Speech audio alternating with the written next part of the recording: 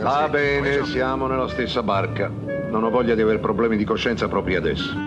Dove l'hai prese quelle scarpe? Lei ha detto che poteva prendere. A casa vostra andate in giro scalzo.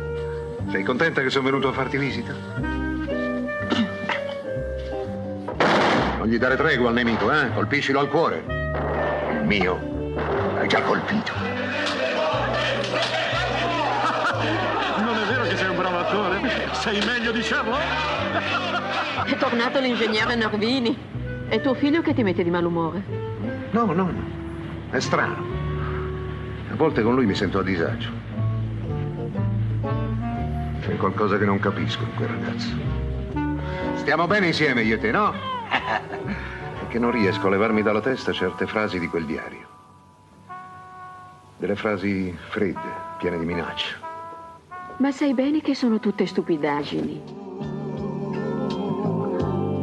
Bambina innamorata